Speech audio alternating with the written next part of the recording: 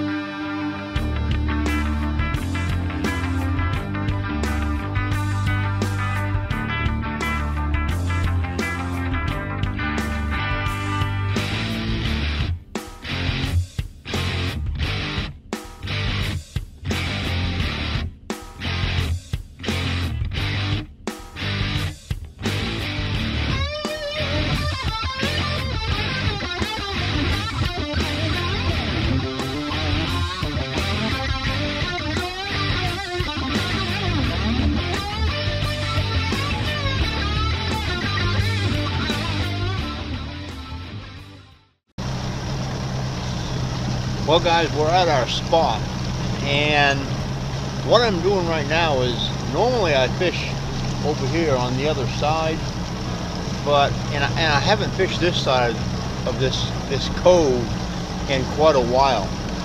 And it's a pretty deep cove in the middle over here. It's around 40 feet, and it comes up pretty quick.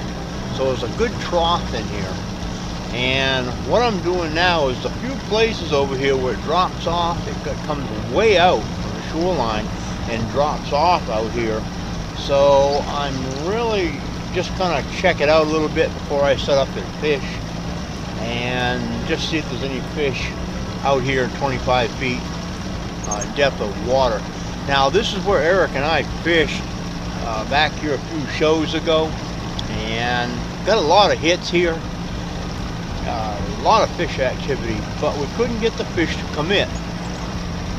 Now I'm only in 13 feet of water right now, guys, and I'm probably, I would say, a good 100 feet, maybe a, I'd say maybe 150 feet off from shore, and it's just starting to drop off now. And right now I'm about in the middle of the cove, and it's not even maximum depth, so it uh, gives the fish a good opportunity in here to seek deep water should they need to because of weather conditions, changing weather conditions, and also to get up in the shallower water areas during the day and the afternoons when the water temperature warm up. All right, I'm just getting my bait out here at this spot, and I'm going to go ahead and let it down down to the bottom, move back to where I saw them fish on the depth finder. Now, this technique is a deep water technique, guys. I'm talking, I'm fishing from 30, sometimes 60 feet of water. So you have to fish it differently when you're going to fish this technique, okay? And it's usually a really productive technique in these waters this time of year when the smallmouth and walleye when they head deep. Now I'm on fish right now. I am sitting right now on a bunch of fish. 39 feet deep. And they are pretty much stacked up down there. So we're to see what happens. I was actually headed to a new spot. It's like a small largemouth. Oh yeah. real small largemouth. I was headed to another spot. I went down and tried a few other places down there, and um, the fish were there, but it just wasn't paying off. So I was kind of in trolling mode, going to the other spot, and this little guy come along and bit. But what a pretty fish he is. All right, getting back in the water, I'll get back to where I'm going. But I want to tell you, this is not one of the ideal days today that I like to fish in. It's uh, bluebird skies right now, and you know, I'm, I'm going to have to change some things that I do the way I fish today because these are not the ideal conditions. It doesn't mean I'm not going to catch fish, but what you need to do under conditions like this is you need to change. The fish already have it made up in their mind what they're going to do when the weather changes. And that's one reason why I like Lake James because you can predict what the fish are going to do. All right, everybody. Got another fish here. Don't know what it is yet. We're going to find out. Looks like a smallmouth. He's coming up pretty quick. Yeah, it is. Let me get my net out here. I don't want to lose him. Yeah. Not a very big one, but we got another smallmouth. And uh,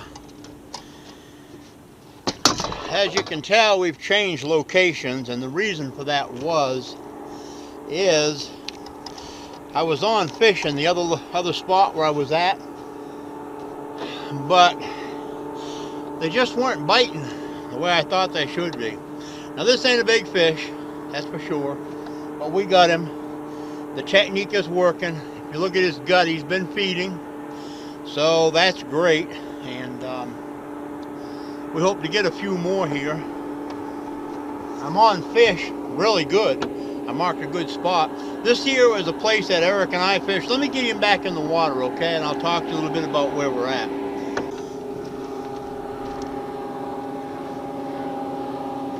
There he goes. All right, let me talk to you a little bit about where we're at and what we're doing. This is a spot where uh, a few weeks back, me and Eric were fishing at. It's a place we call the Trough. And what it is, let me get my bait down here. Like I said, I'm, I'm on fish right now and I want to stay on them. I'm only in 36 feet of water. So what's going on right now is we've got an island over here and I'm really close to another island over here. And this island comes way out and drops down really slow. If you look on the depth finder right now, I'm showing a lot of fish.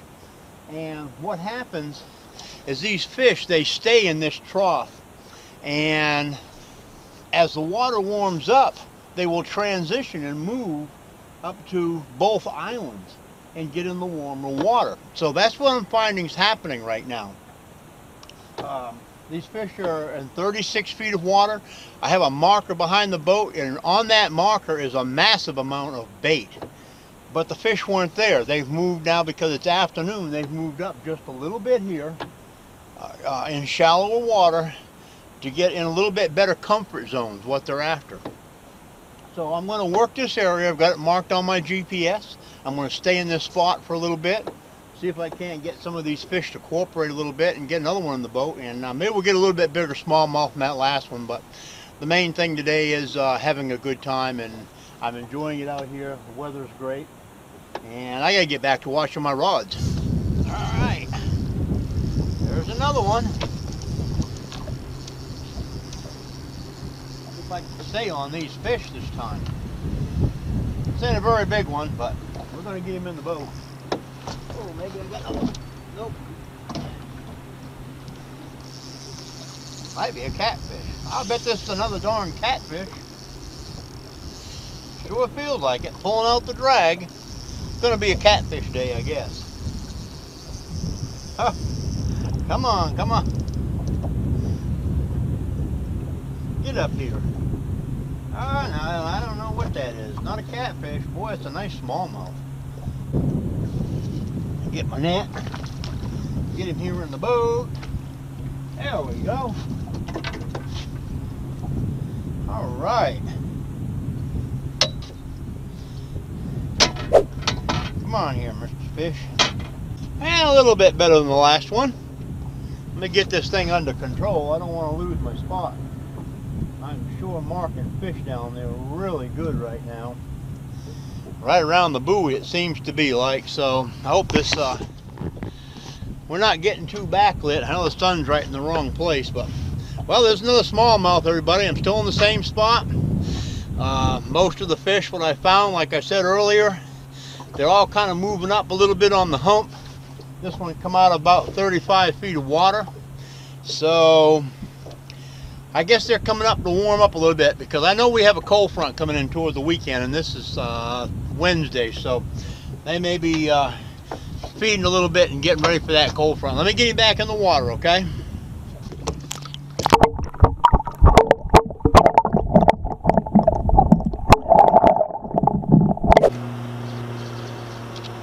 That didn't take long. Man, I just put that bait out there. Whoa! Gotta be a catfish. Holy smokes. I came onto a school of fish here, guys. I mean a big school of fish. And I just put this bait out and he just hammered the thing. There's a monster school of, uh, of fish right below me here. Right now I'm in 32 feet of water. I just come off from that place where me and Eric fish what we call the trough. Um, they were there, but they weren't really that active. And uh, this is a catfish, because he's not wanting to come up. Boy, he's peeling off the drag, though. Man, gonna lose my spot here. I got it marked on the GPS. Oh, what a smallmouth. Big smallmouth. It wasn't a catfish. It was a big smallmouth, guys. Oh, gosh. Wait, do you see this fish? And this is what I'm talking about when I'm talking about Lake Erie quality fish, uh, smallmouth bass in Lake James. And that's that's one of them right there. Beautiful, beautiful, probably four and a half, maybe pushing five pounds. Uh, smallmouth bass. And uh, he just hammered it. I sent that bait down there and kabang, he was right on it. Man, that's a nice smallmouth bass. Sure wish Eric was here because he was trying for one of these last week and they just didn't come. But anyways, uh, let me get him back in the water, take a few photos here, get him back in the water. I'm going to talk to you a little bit about what I'm doing because this is a great spot I'm on. Uh, I'm out of the fish right now. I'm going to turn around, go right back over here and get right back on him. Let me get this guy back in the water.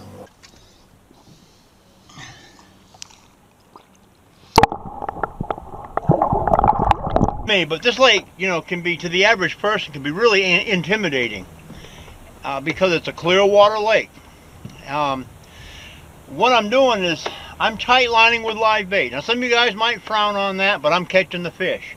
This is a day where I can tell you right now, you'd work really hard to catch fish on artificials. And there are some days on this lake, artificials work great. There's some days where they don't work at all. And like I always say, I don't care if you're crappie fishing, catfishing, or what you're doing, have an alternative bait on the boat. You could go home without putting any fish uh, in the boat at all. So anyways, what I'm doing is I'm looking for fish.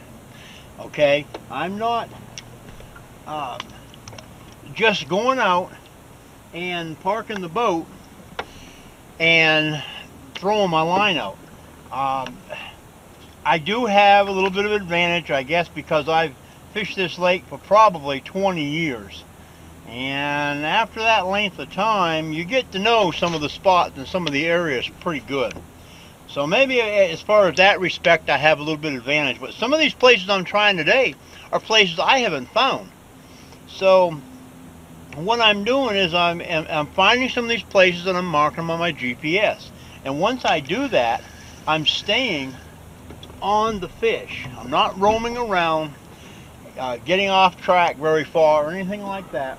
I'm finding the fish and I'm staying on them. So, like I said, this is a live bait technique that I'm doing right now, okay? Uh, fishing anywhere and all my fish guys have come out of 30 to 60 feet of water. Now that last fish I caught, that was a monster monster uh, smallmouth bass.